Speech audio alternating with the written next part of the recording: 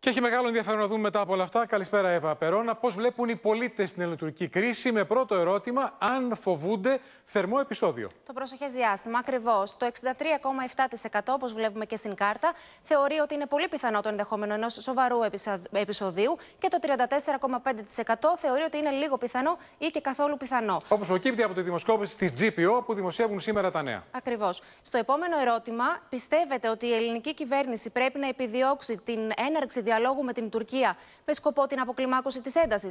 Εδώ το 69,8% πιστεύει πως ναι και μάλλον ναι, και το 28,3% πιστεύει πως δεν πρέπει και μάλλον δεν πρέπει. Και στο τελευταίο ερώτημα, εάν πιστεύετε ότι οι Ευρωπαίοι εταίροι θα προχωρήσουν σε οικονομικές κυρώσεις εις βάρος της Τουρκίας.